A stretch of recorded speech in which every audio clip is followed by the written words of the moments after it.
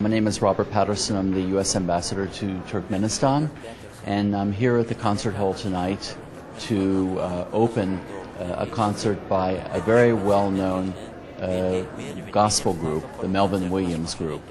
The Melvin Williams Group has been touring in Turkmenistan. It was recently in Turkmenabad. Tonight it's going to be in Ashgabat, and tomorrow night it'll be in Dashaguz.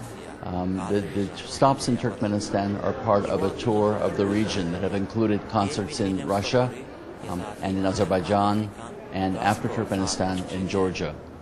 The kind of music that this group plays is a very deeply American music. It's called gospel.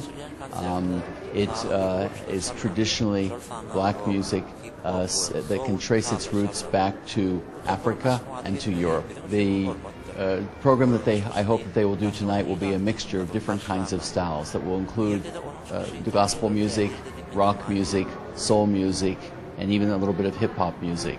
We're very excited about having this group here in Ashgabat.